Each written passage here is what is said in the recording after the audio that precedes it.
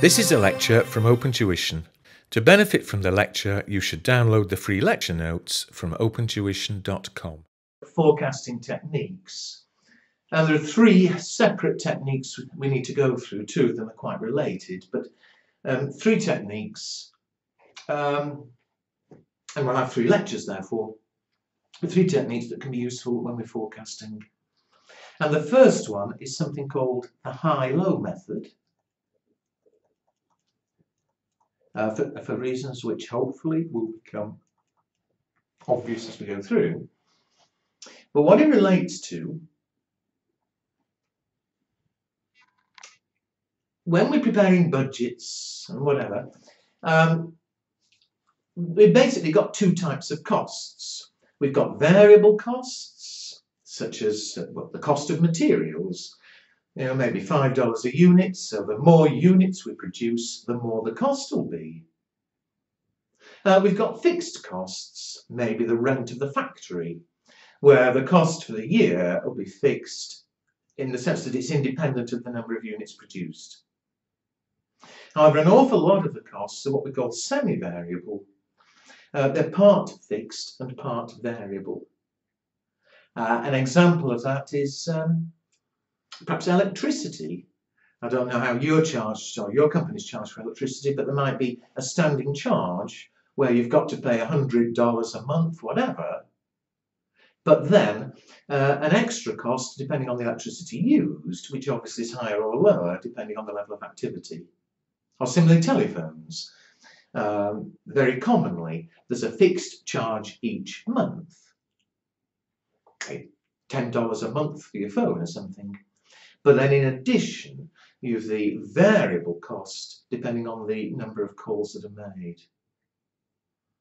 Now, in a perfect world, if we drew a little graph, a very rough graph here, you're not going to be drawing graphs uh, of this in the exam, uh, but suppose, well, I'll use telephone as an example, telephone expense. If I did a little graph of uh, the cost in dollars against the uh, number of calls.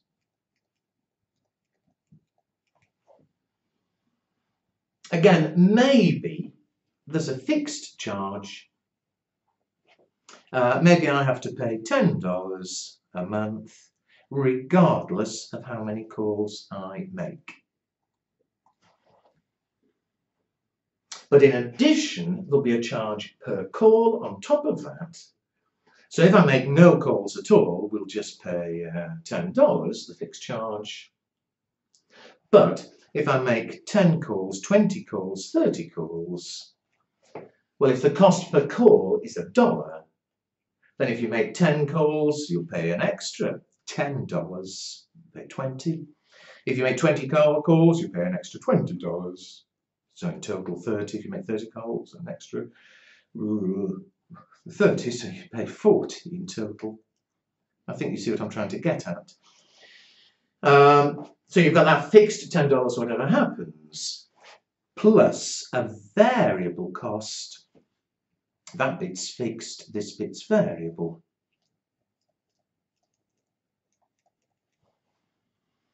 Uh, a variable cost depending on the number of calls made.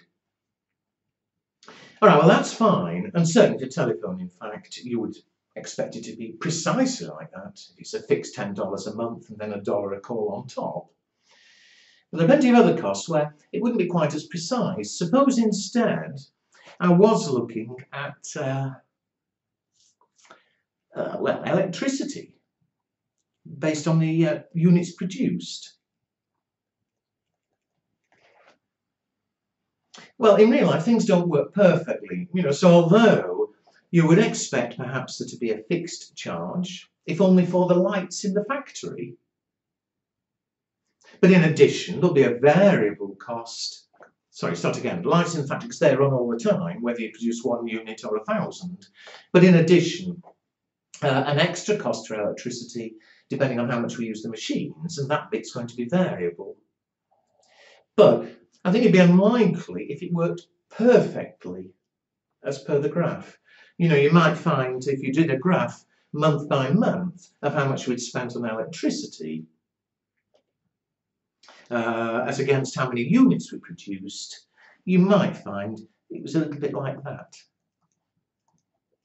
That it wouldn't be exactly linear.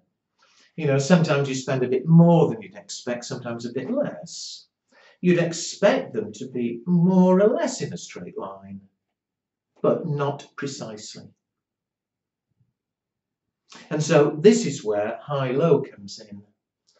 Suppose, turn to page, uh, the third page, where you see an, a, an exercise.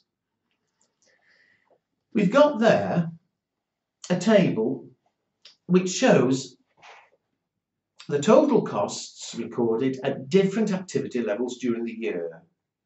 So maybe um, uh, we've looked at however many there are, I think it's seven months there. Maybe we've looked at the past seven months. And some month, one month we produced 100 units, the next month 400, the next month 200, the next month 700 and so on.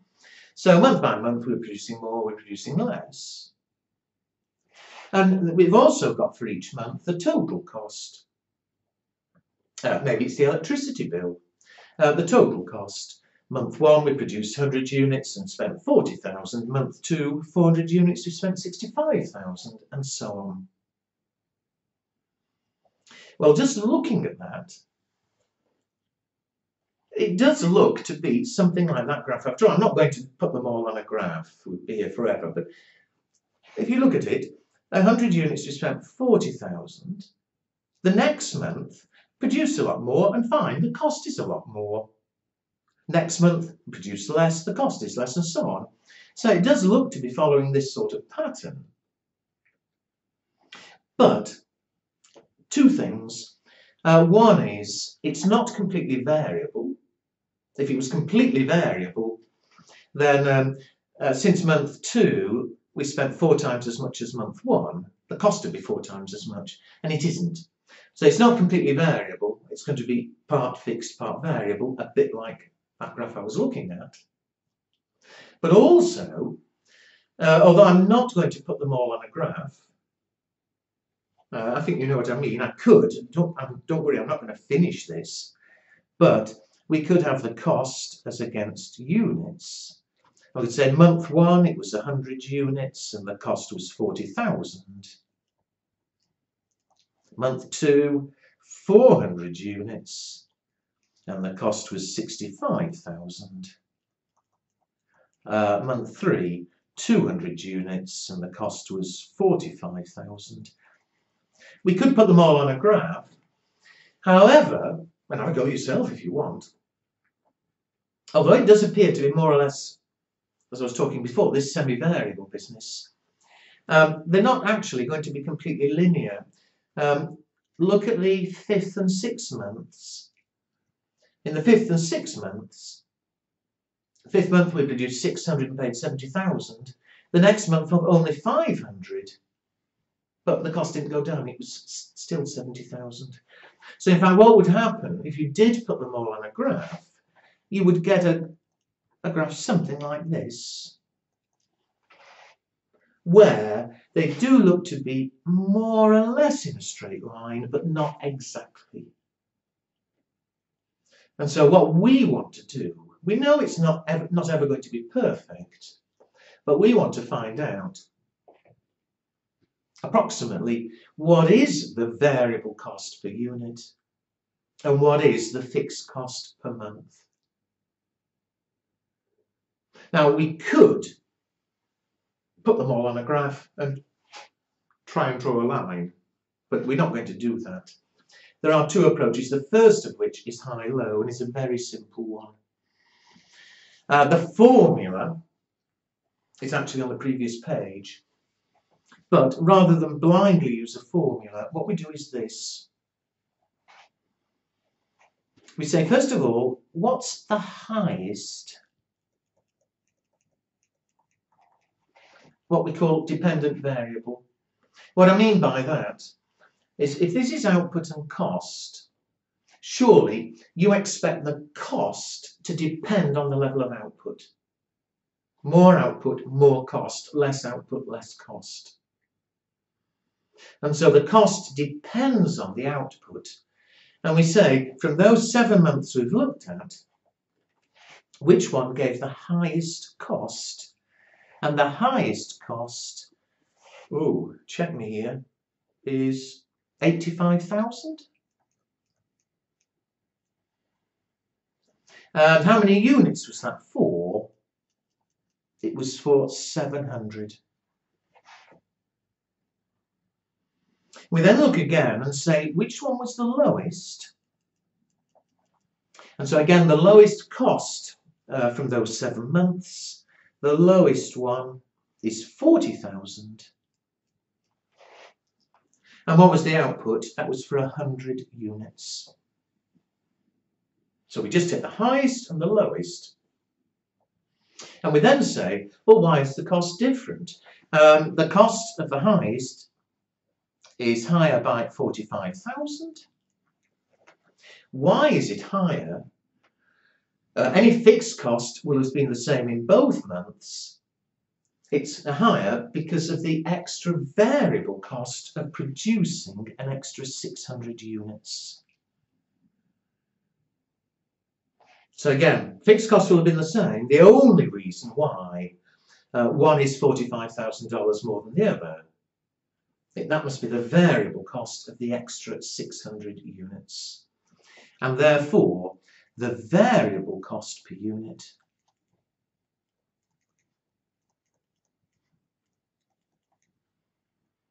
Uh, 45,000 was the variable cost of 600 units. And so per unit,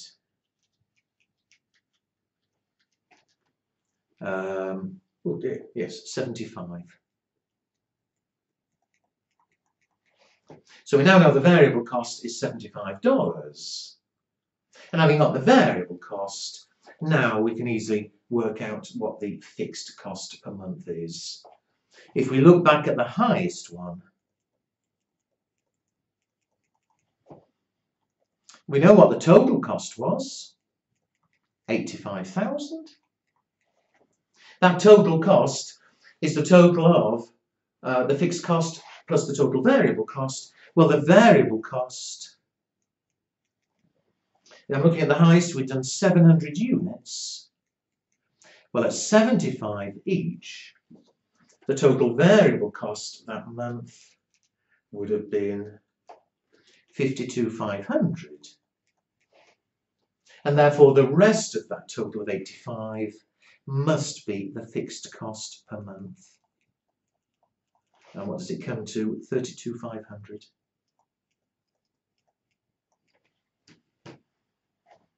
And we can actually check that, or don't waste time in the exam, for heaven's sake, be confident.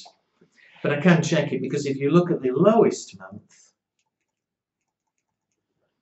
uh, the total variable cost well, in the lowest month, we produced 100 units. So 100 at 75, 7500. In addition, a fixed cost every month, which uh, I'd worked out at 32,500.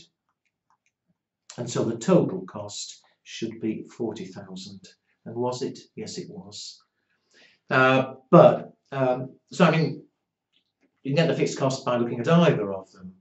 But again, don't waste time in the exam um, checking in that way. But there we are. Uh, and we, we could now use that for forecasting because we can say that however many units we produce, so for X units, you know, if I'm trying to forecast for next month, next month I think we'll produce 800 units or something. Well, can we not say that the total cost, there's always going to be the fixed cost of 32,500. But in addition, a variable cost of 75 for every unit, and therefore with x units, a total of 75x.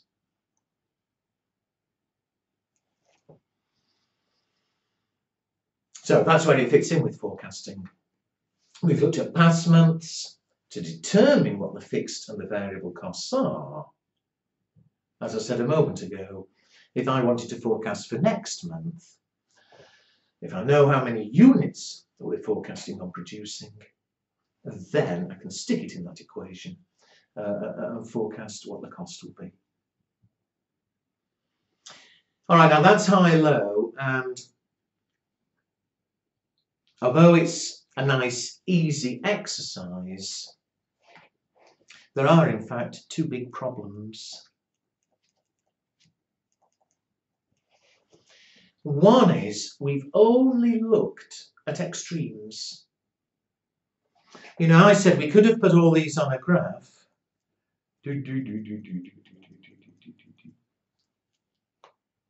Start again. We could have plotted them all on a graph.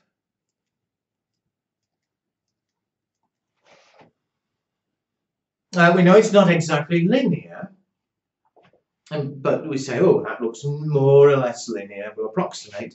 But all we've done is taken the first one and the last one and treated it as though it's linear between them. Well, that's fine, but just suppose that one, uh, uh, the highest month had been unusually high. It had been up there. Well, we'd only have looked at the highest and lowest, so we would have effectively assumed the costs were going like that. When in fact, that was really abnormal. They were going more like that. So that's one problem. Um, it's very affected by extremes.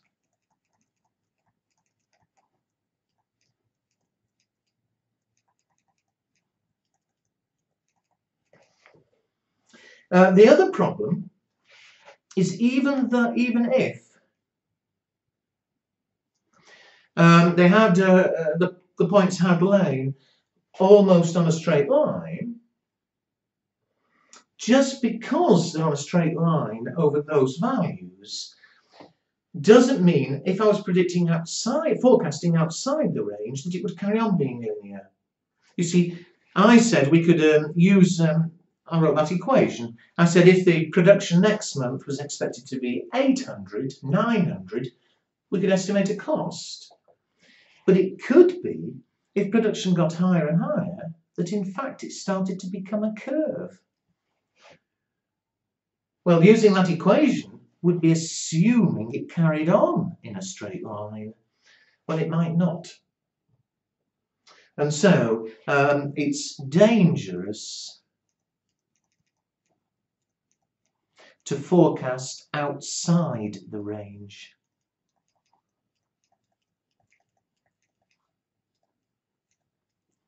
You know, if our values are more or less linear, then okay, we can be reasonably confident if we're forecasting, you know, within the existing range. But you, if you are trying to forecast outside it, there is that risk. Anyway, that's the uh, high-low approach. Uh, as I've said, uh, uh, on the one hand, it is very easy, it's very quick, but this problem of being affected by extremes, the highest or the lowest um, being unusually high or low, which is why a better approach is the one I'll deal with in the next lecture, which is called regression analysis. But anyway, that's high-low. We'll leave that bit there.